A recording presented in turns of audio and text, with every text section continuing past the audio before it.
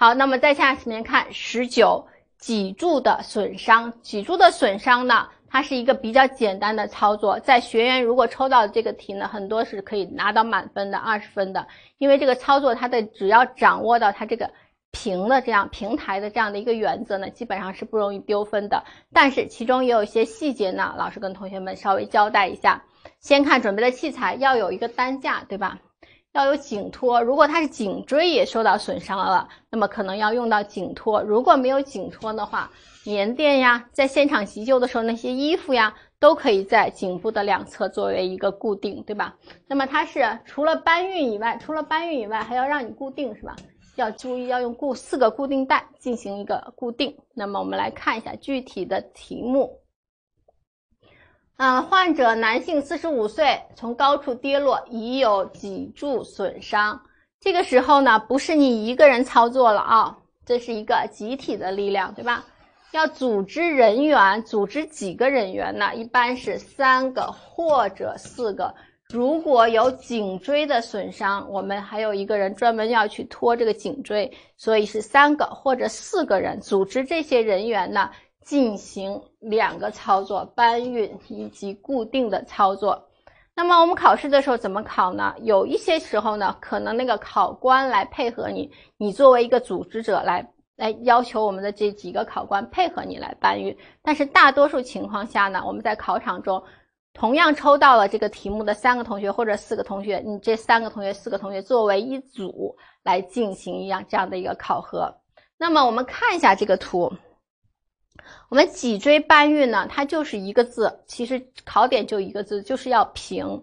整个躯干呢是要平抬，同时用力平抬平放，整个要保持这个躯干是一个平的，这就是这个这个操作最重要的一个点，就是躯干不能弯曲，它一定是平的。那么我们来看一下这四个人，这四个人呢，其中最重要的人可能就是这个人，他是一个组织者。它的主要作用呢，如果有颈椎损伤，它是要牵拉着这个头的，向躯干这个沿着躯干纵轴这个方向，把颈椎呢进行一个牵拉向上的这样的一个牵拉，同时发号施令，一二三，然后剩下的三个人跟他同时搬，是这样子一个过程。那么还有呢，就是中间这个人也是比较重要的，他是一定要把中间中部这个地方托起来的，那么这个躯干才能是平的，对吧？所以说这两个人是比较重要的。如果是我们一顺教育的学员呢，考试的时候抽到了这个题目，你对别的同学不太了解的时候呢，我们建议你尽量选择这两个位置，这样子呢，你可以保证，因为你对这个操作是很熟悉的，它的要点你也很熟悉，你尽量保证你们四个人一块儿通过。如果你中间这个人呢，他对这个操作不熟悉的话，他可能一下塌下来了，这个弯曲了，或者是他没有指挥好，没有命令好的话，那么这个。操作失败了，可能你们四个人都是要扣分的。所以呢，我们一定要该出手的时候就要出手啊，站入这几个关键的位置，保证这个操作的顺利进行。所以说呢，这个现场的时候，你要根据现场考试的情况呢，稍微灵活运用一下。你可以哎跟同学跟你旁边的考生呢做一下交流，让保证这个操作呢四个人或三个人。配合的同时完成，这样子呢，你们几个人呢才能都能把这个分数拿到。这个不是孤军奋战啊，所以要稍微注意一下。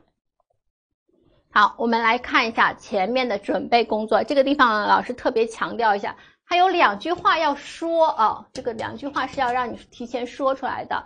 就是因为它是个现场急救，你在现场这个环境，你先要评估一下你这个现场环境安全不安全。本来就是一个不安全的环境，你就没有办法进行抢救了，对吧？那这句话你要说出来，评估一下现场的环境，要快速的检查一下患者的生命体征、呼吸呀、心率啊、脉搏啊、意识啊，是不是平稳的？如果大概是平稳的，我们就可以向我们的患者或者患者的家属呢报告检。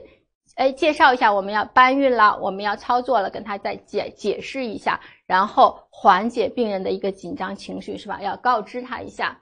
那么搬运的是用一个特殊的担架，是硬质担架。如果你在现场没有担架，门板呀、木板呀，也可以用硬质的这些板呢，也可以进行一个搬架，绝对不能用像床单呀这样的比较软的东西，你一抬。他那个腰就下去了，那么加重了二次损伤，是吧？那么一定要注意，是一个硬质的担架来进行搬运。好，那么我们来看搬运和固定的过程。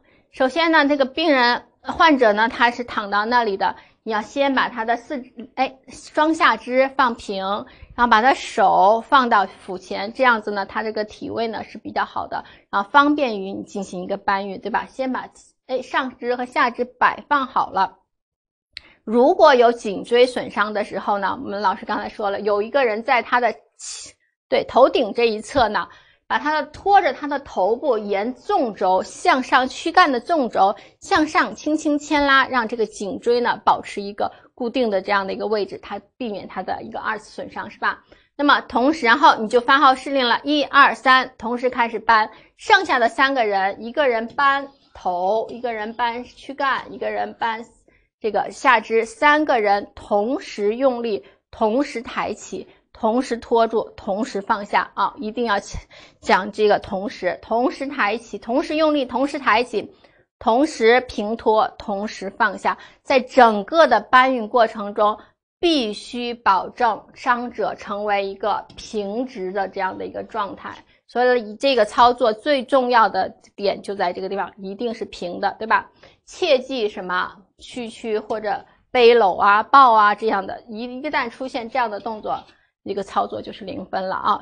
这个地方呢，我们稍微注意，一定要注意。那么这个地方除了搬运，它还有个要求，还要让你固定一下，是吧？那么固定四个平面，四个平面呢，我们要分开记是很好记的。我们上肢两个，下肢两个，上臂水平一个，前臂水平一个。大腿水平一个，小腿水平一个，你就这样记。四肢上面两个，下面两个，前臂，呃，上臂、前臂、大腿、小腿四个平面进行一个固定。在那个担架旁边呢，一般都会有那个固定的牵引带，你把它进行一次四个水平的固定。固定完了以后呢，用颈托。我们刚才说，如果有颈托的话，用颈托固定；如果没有的话，两侧垫上一些衣物啊、沙袋呀。在颈部的两侧进行一个固定，所以呢，这个搬运和固定两个操作呢就完成了。这个操作是很容易得分的，很多同学抽到这个呢是非常幸运的。但是呢，一些细节的点呢，老师刚才已经反复强调了，我们把它把握住呢，争取呢我们都能是过关的。这个绝对是要高分过关的一个项目了。好，稍微再看一下后面的注意事项，我们刚刚说了，一定要口述。口述评估现场环境安全，检查患者生命体征，生命体征平稳，然后呢进行一个向患者解释交代，然后进行交流之后呢，用硬质担架进行搬运。搬运的过程中一定是平直的啊，一定是平直的。再次强调了，那么我们在现临哎，我们在临床工作中呢，在搬运的过程中呢，一定要注意，还是要注意一下他的病情的变化，因为他这个脊柱的损伤还是比较严重的，对吧？那么在整个的搬运过程中呢，再关注一下他的生命体征和病情变化。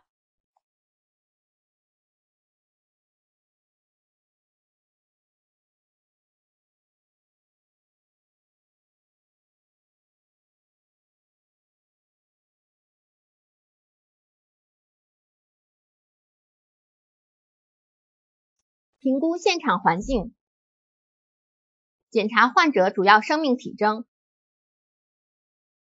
告知患者搬运固定的目的，并取得患者的配合，使伤者两下肢伸直，两手相握放在身前。考生发号施令：一、二、三，抬。